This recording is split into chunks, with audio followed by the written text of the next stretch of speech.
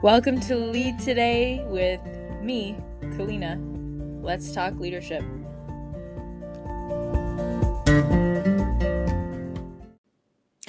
This episode would not be possible without Anchor. It's free and the easiest way to make a podcast. They're creation tools that allow you to record and edit your podcast right from your phone or computer. Anchor will distribute your podcast for you so it can be heard on Spotify, Apple Podcasts, and many more. You can make money from your podcast with no minimum listenership. It's everything you need to make a podcast in one place. So, download the free Anchor app or go to anchor.fm to get started. Here we are for the second episode in the career development series. Today we're talking about identity, arguably the most important thing personally, at least. Also, for your brand, you want a brand identity if you're building a business. So, no matter what it is that you're up to in your work, this is going to be good. Just a reminder that any support that you can give in regards to liking, writing a review, subscribing to this show makes a huge difference to my ability to be able to continue to produce it for you. So, if you're feeling super generous, then I would invite you to click the link in the show notes to donate a cup of coffee or more to help me continue doing the show. Today, I have a ginger turmeric tea with some local honey. So, thank you to Sarah for her donation, making it possible for me to have this wonderful tea by my side today. Okay, identity. Well, as you remember from last time, if you listened, if you haven't, maybe go back to one episode before this so you can get started on the logical levels series. This is important because it helps you map out any project, brand, or most importantly, your own personal career trajectory. It's super important when you're working day in and day out to know where it is you're headed, why, and to feel like you're in the driver's seat. Whether or not you hit bumps and curves along the way, it's good to feel like you're in control at least to feel that you're behind the wheel. Um, there's so much in life and in our careers we don't control. So when it comes to our mindset, our inner clarity, finding focus, I think it's super important to get that under control because it is what's in our realm to decide upon, right? How am I going to approach this? What do I think about this? How do I want to move forward? What can I learn from what I've done before? And so as I've told you, there are six levels, and today is level two identity. As I reminded you, last week was purpose or vision. So if you haven't done that yet, just go back and check it out. So, when it comes to identity, this is important for you if maybe you're doubting yourself, whether it's your role in work or maybe it's related to purpose. You're sort of questioning, right? Who am I? And maybe feeling not good enough as a result of the answer you're giving to that question. So you're feeling confused about who am I and feeling inadequate or like you're avoiding things, either the job, the role that you've been given, um, or certain parts of your job or certain parts of your life. And it's sort of coming in at the identity level for my understanding of it. Because when you are confronted with a challenge of some sort, whether it's a financial challenge, a relational challenge, a physical challenge, you have a choice on how you respond to it. And a big part of how you respond to it is who you believe yourself to be.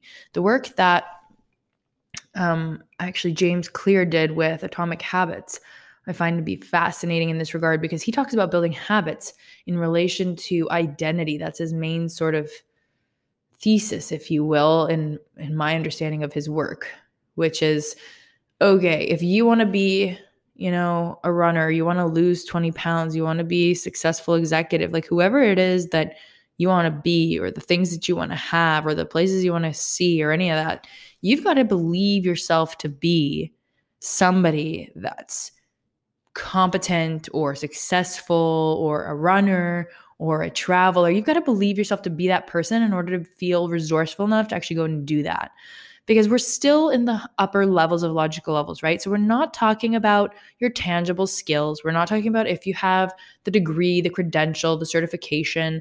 That's not where we're at yet. We'll get there in uh, episode four of this series. We'll get there. But right now, we're talking about who do I believe myself to be, right? What's my identity? It's something that I guess traditionally we talk about sort of that teenage level where we're kind of reckoning with ourselves and we dye our hair red or you get a new piercing or you kind of want to rebel. It's like this pushing of boundaries to understand okay, where do I fit in the social continuum? Who do I want to show up as? And I don't think that stops. I think we push it in our teenage years, but I don't know that it really stops because once you find your identity, within your social circle in school. You go off to university, you find that kind of identity within academia or within an internship or your first job after high school. You're finding, okay, who am I in relation to everybody else around me in this broader society? High school was this drop in the bucket compared to who I am now in relation to, you know, thousands and millions of people in my city or town.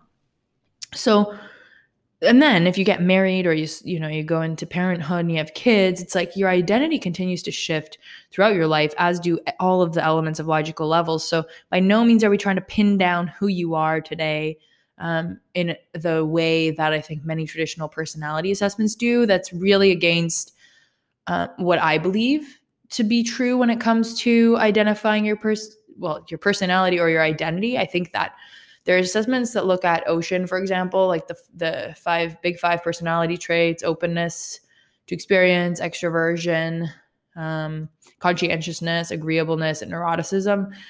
Jordan Peterson's work delves into that, but lots of psychologists look at those big five dimensions. And it's not to say that those aren't reliable indicators and that they can't at least give you some inkling into what your tendencies are. I think that that's great. What I'm trying to say is that I don't think that you should pigeonhole yourself based off of those dimensions, for example, or any dimensions. Just because you're you don't score high on extroversion or you score low on neuroticism or you're very conscientious, I think there's more to the equation. And what I'm trying to get at when it comes to identity is not on the personality level.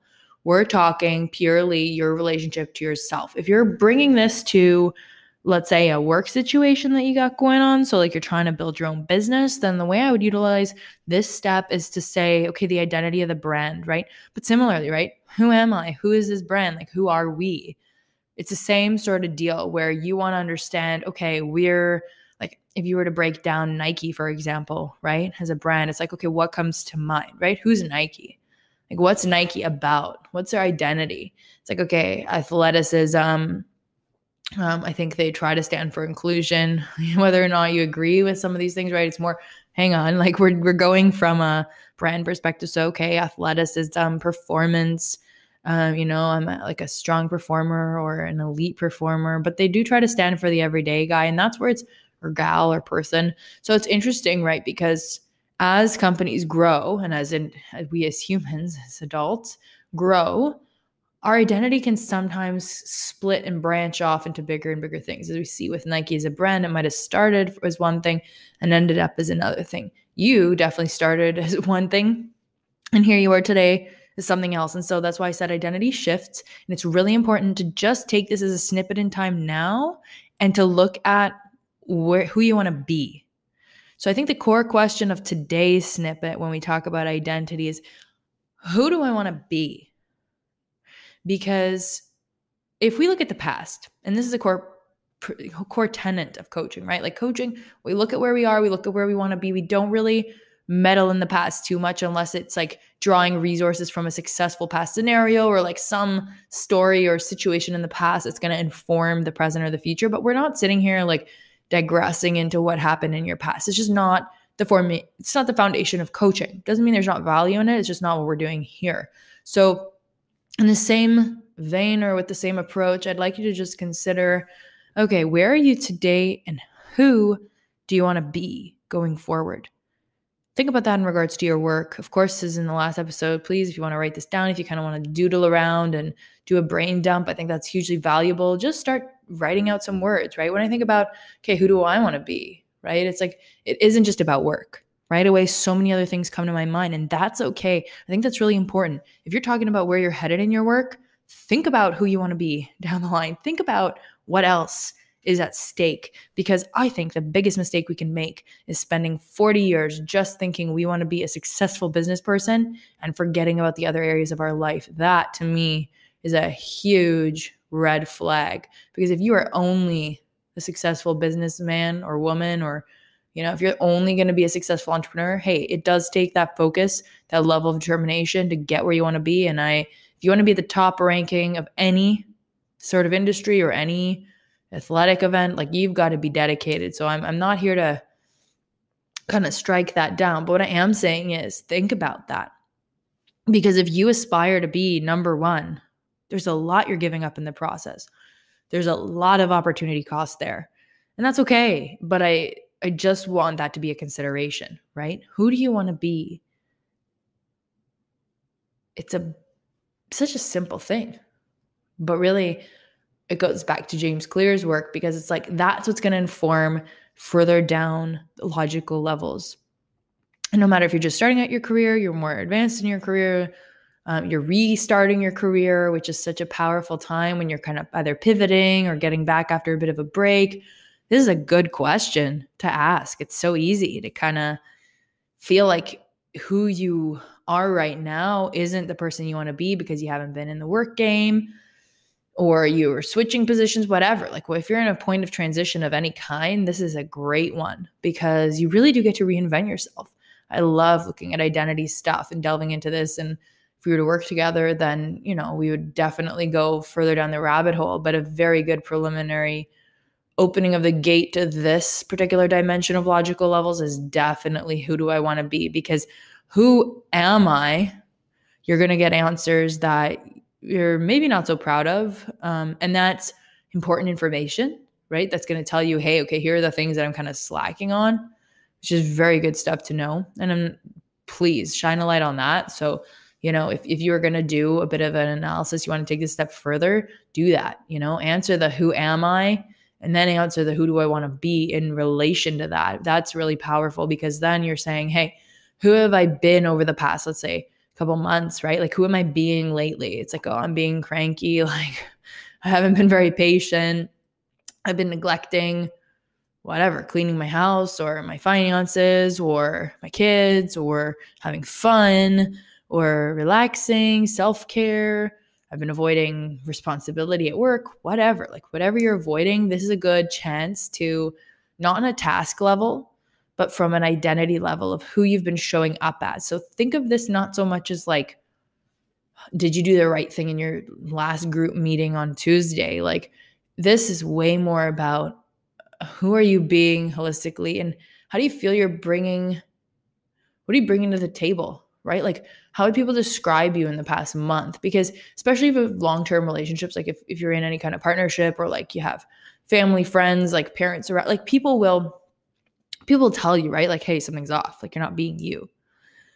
So, you know, tap into that. I'm not saying let's necessarily listen to everybody around you, but just tap into this idea that who you are has definitely evolved throughout your life, and you have every choice to continue to evolve it even further into somebody unrecognizable to who you are today. Like, if you were to talk in a year from now, you could be somebody completely different if you decide that you're going to be somebody different right? If you decide you're going to pick up and move to Texas, you decide that you're going to pick up and move to Zurich or Paris and you're going to do a language course or get a new job or join a new company or transfer offices, like this can be the time. Today can be the day. And you can decide, hey, like I'm an adventurous, courageous person. And you can decide that right now.